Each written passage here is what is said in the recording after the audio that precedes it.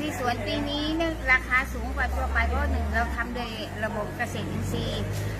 คุณภาพ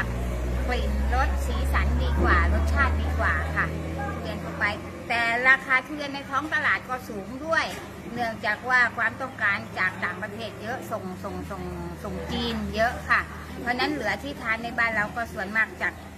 ท้องตลาดทั่วไปก็คือ จะเป็นทุเรียนที่ตกไซส์จาก ลงที่เขาไม่เอาแล้ว แต่ราคาก็ยังค่อนข้างสูงค่ะ เออจริง ๆ แล้วของถูกมันทั่วๆไปก็คือของถูกของฟรีไม่มีในโลกเนาะเออซื้อทุเรียนยอมดูที่ของที่มีคุณภาพ ราคาอาจจะสูงกว่านิดนึงดีกว่าซื้อไปแล้วทานได้ทั้งลูก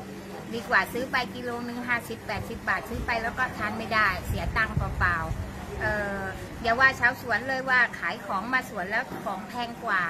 เราในสวนชมรมสวนปีนี้มีทั้งหมด 19 สวนท่องเที่ยวในจังหวัดจันทบุรีนะคะ ทุกสวนต้องรักษาคุณภาพ ทุเรียนที่เอาออกขายให้นักท่องเที่ยวต้องเป็นทุเรียนที่แก่จัดมีคุณภาพ แล้วถ้าเอาไปแล้วของอ่อนทุกสวนยินดีคืนตังค์ให้หมดค่ะ ถ่ายรูปมาได้เลย